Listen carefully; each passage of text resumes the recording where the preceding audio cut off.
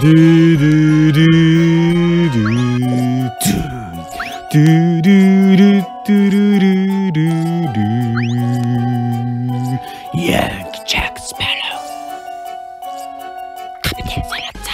ーサラザールなかったなサラザール好きなんですけどねパイレーツ・カリビアに出てくるねうんということでやっていきましょう。ヤングジャック・スパローですね。はい。あれね、なんか別の役者さんがやってるもんだと思ったら、あれ、ジョニー・デップさん本人らしいですね。こういうくるくるくるくるくるくる。ビューかっけ。はい。ということで、えっと、つい、ちなみにこのプレイを、えーし始めたのが23時58分ということなので、1日限定プレイし放題デイは、もう終わりを告げます。残念ながら。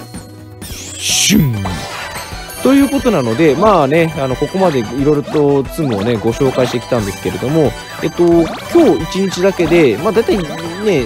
何分くらいやったかわからないですけど、まあ60本近い動画を、えー撮ってまいりました。で、えっと、まあ、こっから先また紹介動画っていうか、その、ね、自分の持ってるつむつむこんなんですよって、こんなスキルですよっていうことを、こう、まあ、言いながらですね、本当はなんかね、あの、スキルで使い方はこんなんでこうすると高得点が取れますねっていうんですけど、ただただスキルを使ってるところを見せるだけっていう動画ばっかりになっちゃってるんですけど、まあまあまあまあ、結局はさ、ゲームってさ、あの、楽しくできたらいいじゃないですか。雑談とかしながらね。雑談って最強じゃんっ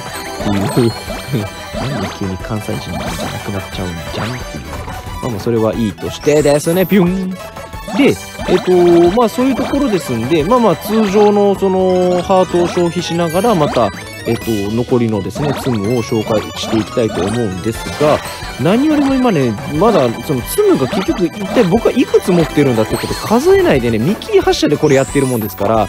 ゾッとしてるわけですよ。何かっていうと、まだね、レベルが一桁のツムばっかりをプレイしているってことなんですよ。どういうことかわかります？あの、これから、最大レベル50にたどり着くまでのツムたちがまだまだ眠っているっていうことなんですよ。何十回プレイしなくちゃいけないですかね。はい。ということでね、とりあえず今日は合計スキルあ、ハートに戻ってる。ハート戻ってるわ。ということで、